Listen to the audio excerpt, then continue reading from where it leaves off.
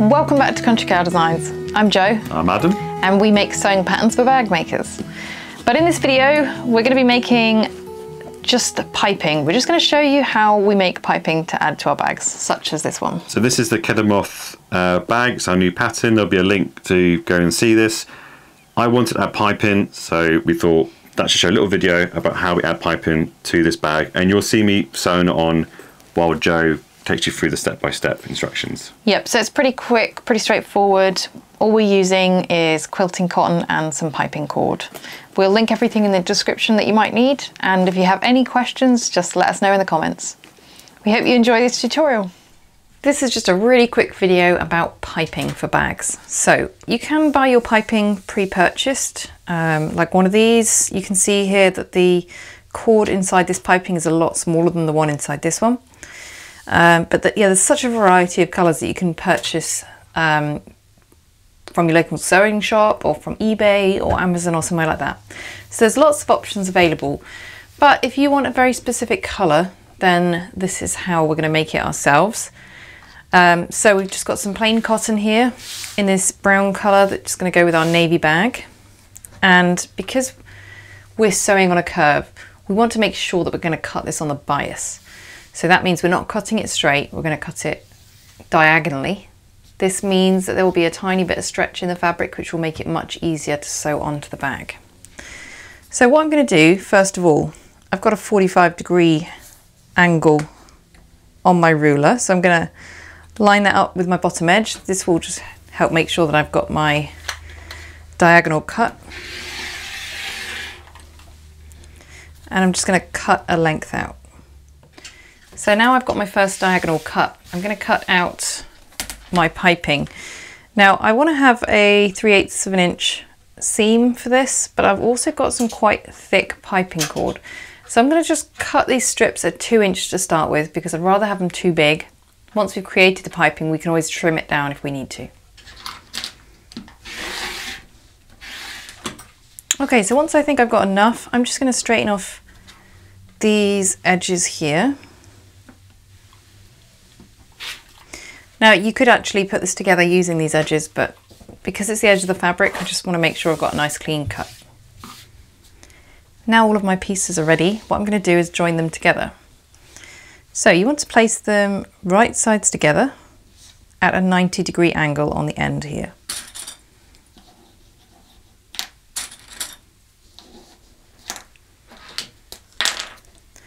And then I'm just going to use a fabric pen to mark the end of that one.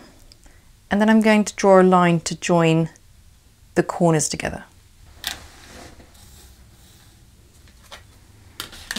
And we're just going to sew across this line. Once that's sewn, you can just trim that down.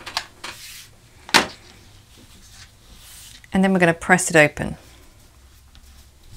So you want to do that with all of your lengths so that they're all joined together and you just have one long piece of fabric. Once your seams are pressed open, you're going to want to get your piping cord. So I'm using a pretty big one for this. I think it's about five millimeters. Um, and we're going to put it down the center, but to try and stop it from like moving around, um, just make things a little bit easier, I've got a little bit of glue, just a Pritt stick, and I'm just going to try to use that to sort of stop that from moving too much. So I'm just going to dab it in little areas as I'm putting the cord down the center. And then what we're going to do is wrap the fabric around the cord and just bring it back so that it matches the other side of the fabric. So the glue is just there to just give a little bit of extra resistance and stop that piping cord from moving too much. Now we're just going to do this for the whole length of fabric that we've got cut. Once that's all clipped, we can sew the piping together. So this is much easier to do if you have a piping foot which will run along the cord and give you a really neat finish with minimal effort. I don't have a piping foot for my machine, so I'm going to show you how to use a zipper foot. I'm going to be going as close to the cord as I can get, and I'm going to use an awl to guide it through. Okay, so I've got my main panel. The first thing that I want to do is cut my piping down to the correct size because I made enough for two panels. So I'm just going to do a really, a really rough estimate by just sort of placing it all of what the way around. I just don't want to be dealing with this whole length of piping when I don't need to. Okay, so I'm just going to trim it to that length. Okay, now the seam allowance that I'm using is 3 eighths of an inch and the seam allowance on my piping is 5 eighths of an inch. So what I'm going to do first is I'm just going to trim this down so that it's only got 3 eighths of an inch overhang. Now my piping is ready, I'm going to attach it. Now I want to start on the centre, so I've got the centre marked on my bottom edge and that's exactly where I'm going to place the piping.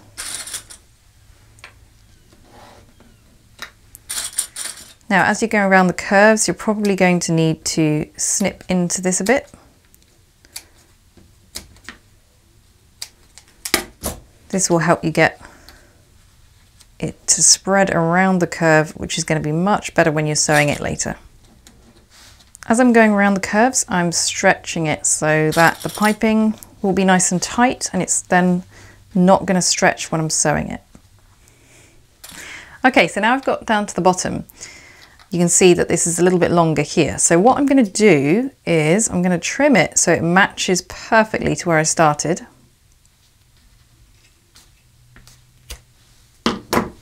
Okay, now I know this is a slightly unusual method for doing this, but this is um, Adam's idea and much better, neater if you ask me. So I've got a piece of the fabric left over. I'm just going to cut out a small square so I've cut a piece out of my fabric that's two inches by two inches and then what I've done is I've just folded the edges over slightly. So now I'm going to wrap this around those raw edges and what we're just going to do is just just make sure it's centered. Now you can use a little bit of Fabri-Tac glue or something like that if you want to to hold that in place or you can just clip it in place. And there you go. So take that over to the sewing machine. We're going to sew the piping on the whole panel. Again, you can use your piping foot if you have one or a zipper foot if not. So there's your finished panel. If you want to see the rest of this bag being made, you can watch our Kedemoth messenger bag video, which will be linked above. Thanks for joining us.